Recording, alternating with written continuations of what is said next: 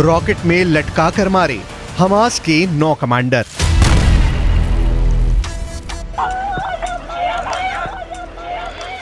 जंग जीतना है तो जंगली बन जाओ। फरिश्ते की जगह शैतान बन जाओ।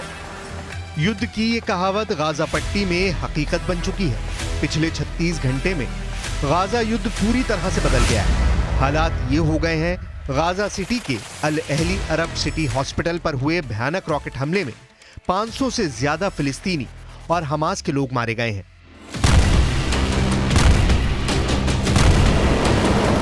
इस हमले की खौफनाक और दर्दनाक तस्वीरों ने पूरे मुस्लिम वर्ल्ड में कोहराम मचा दिया है। ईरान, लेबनान, सीरिया, मिस्र, सऊदी अरब, जॉर्डन जैसे देशों ने पूरे यूरोप और पश्चिमी देशों को चेतावनी दे दी है। कि इसराइल को मुस्लिम देशों की सेनाएँ मिलकर तबाह कर देंगी।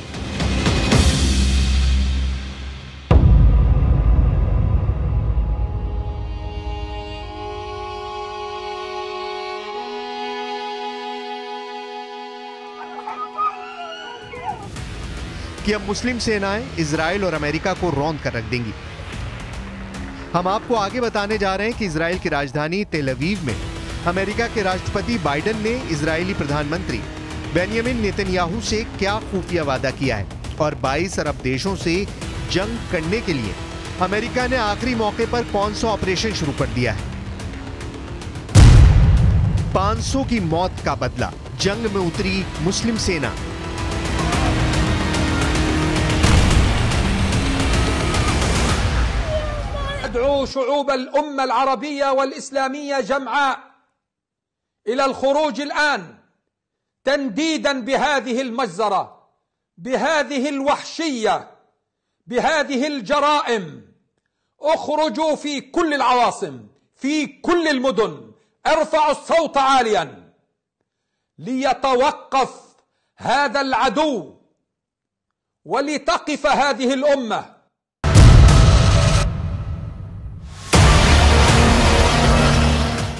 इसराइल 7 अक्टूबर से अब तक गाजा पट्टी में हमास और उसके समर्थकों से जुड़ी 25,000 से ज़्यादा इमारतों को तबाह कर चुका है।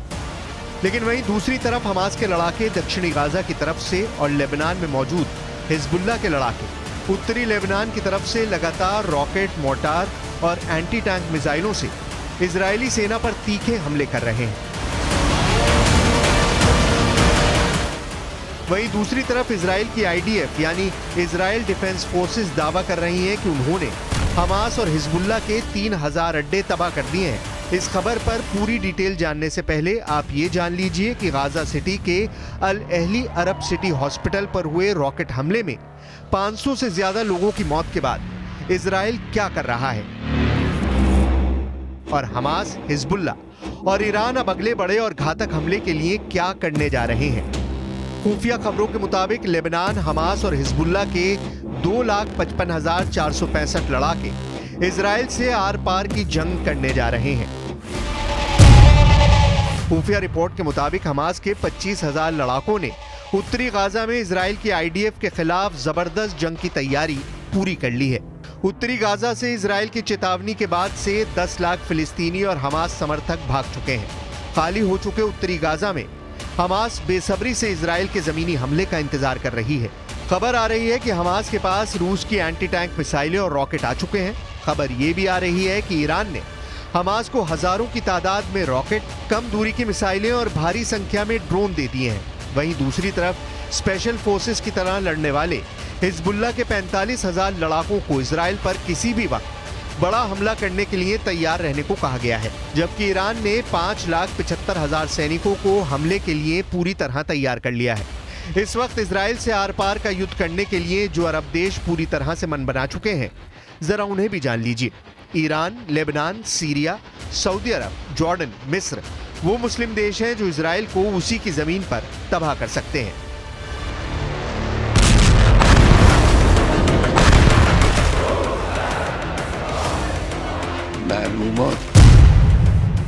दसों की मौत का बदला जंग में उतरी मुस्लिम सेना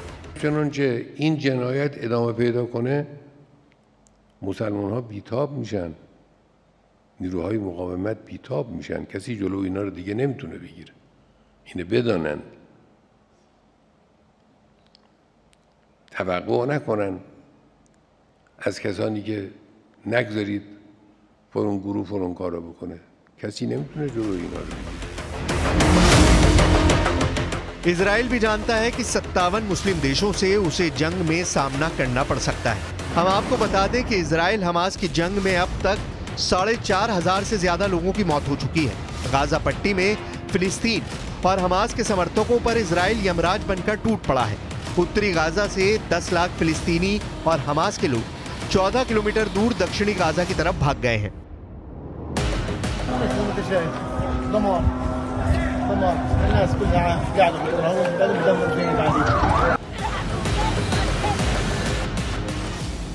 डिफेंस एक्सपर्ट्स के मुताबिक इसराइल बहुत ही चालाकी से गाजा युद्ध कर रहा है अब इसे ऐसे समझ सकते हैं कि इजरायली सेना हमास को एक हाथ में बम दिखाकर दूसरे हाथ से पकड़े तमंचे से मार रही है अब हम आपको बताने जा रहे हैं कि 7 अक्टूबर के बाद से हमास के कितने कमांडरों को इसराइल की आईडीएफ हवाई हमलों में मार चुकी है इसराइल के आईडीएफ के दावों के मुताबिक इसराइली सेना ने दो और हमास कमांडरों को ढेर कर दिया है। इसराइली सेना ने हमास के गाजा सिटी ब्रिगेड में एंटी टैंक गाइडेड मिसाइल के प्रमुख मोहम्मद अबदल्ला और हमास के नेवल कमांडर अकरम हिजाजी को मार गिराया है। इससे पहले 17 अक्टूबर को इसराइली सेना ने हमास के कमांडर एमान नौफाल को मार गिराया था। नौफाल ने इजरायली सेना और आम लोगों पर कई हमलों को अंजाम दिया। 14 अक्टूबर को इजरायली सेना ने हमास के दो बड़े कमांडरों को मार गिराया। इसके अलावा हमास के top commander, Bilal Al Qadra Israel हमले में मारा गया है। बिलाल दक्षिणी खान यूनिस बटालियन में नहबा बल का टॉप कमांडर था। वहीं 7 अक्टूबर को इसराइल पर हुए हमले को लीड करने वाले कमांडर, अली कादी को भी इसराइली सेना मार चुकी है। अली कादी को मारने का काम इसराइल की इंटरनल इंटेलिजेंस एजेंसी शिन बेत ने किया है। इसी तरह हमास का air force head Murad Abu Murad भी इसराइली हमले में मारा जा चुका है। Israeli force Islamic Jihad headquarter को भी एयर स्ट्राइक में ध्वस्त कर चुकी है। इसराइल सेना गाजा में हमास के तीन हज़ार अड्डों को तबाह कर चुकी है। Hamas kidnap women children elderly holocaust survivals I know you share our outrage on this and I know you share our determination to bring these people back On October 7th, Hamas murdered 1,400 Israelis, maybe more. This is in a country of fewer than 10 million people. This would be equivalent to over 50,000 Americans murdered in a single day. That's 29 11s.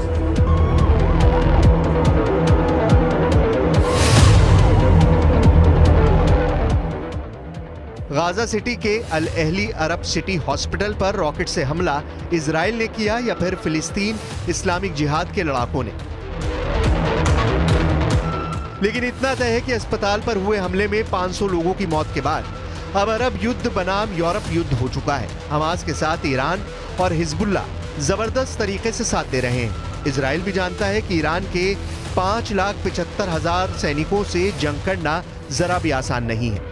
Israel के पास सिर्फ़ एक लाख तिहत्तर हज़ार सैनिक है।